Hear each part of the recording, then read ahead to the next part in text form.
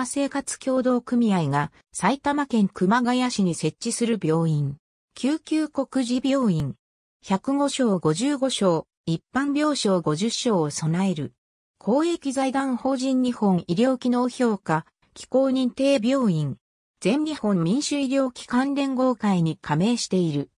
1953年8月に熊谷市宮町に熊谷小児診療所として開設。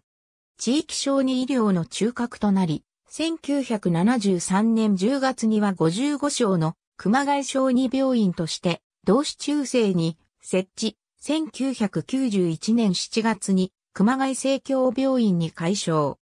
さらに、熊谷地域の高齢化、内科医療の充実といった要望に応えるため、2000年10月に現在地に一般病床、療養病床を持ち、小児から高齢期までを支える病院として現体制を整えた。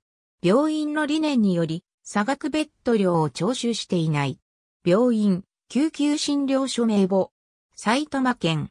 2020年5月16日閲覧。病院評価結果の情報提供。公益財団法人日本医療機能評価機構。2020年5月16日閲覧。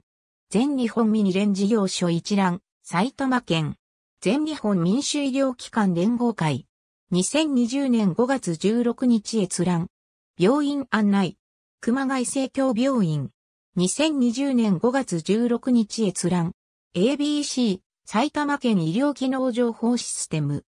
埼玉県。2020年5月15日閲覧。AB、診療科目。熊谷生協病院。